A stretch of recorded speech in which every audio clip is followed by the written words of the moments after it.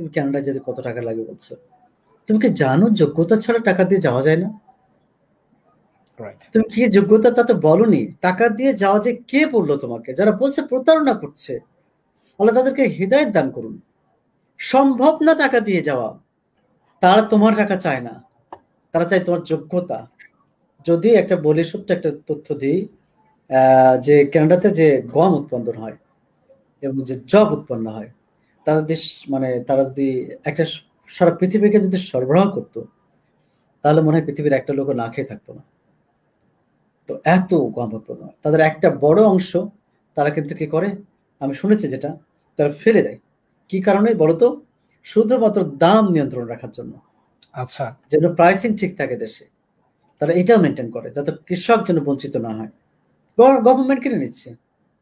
তো আচ্ছা। এত বেশি আমি বলব যে এবং রপ্তানি করছে। রপ্তানি করার পরও একটা বড় অংশ থেকে যায়। তাতে তারা আচ্ছা। ওটা ফেলে দিচ্ছে। কেন? যাতে দামটা কমে না যায়। তো খুবই গুরুত্বপূর্ণ। তো এরকম একটা দেশ এত সমৃদ্ধ দেশ এই বাংলাদেশটা প্রায় উনসত্তর থেকে সত্তরটা বাংলাদেশ একসাথে করলে একটা কেনাডা হয়। উনসত্তর থেকে সত্তর গুণ এত বড় বাংলাদেশ তুমি করো তারপরে একটা কেনাডা হয় যেখানে লোক সংখ্যা মাত্র সাড়ে তিন কোটি। তোমার টাকা তারা চায় না। এই জন্য বললাম যে তোমার টাকা তারা চায় না, এই মুহূর্তে তাদের প্রয়োজন, লোক প্রয়োজন, তার যোগ্য লোক প্রয়োজন। তো তোমাকে কে বলছে তোমার টাকা হলে যাওয়া যায়? লাগবে তোমার একাডেমিক যোগ্যতা, লাগবে আইএলটিএস এই দুটা যোগ্যতা ছাড়া যেতেই তো পারছ না।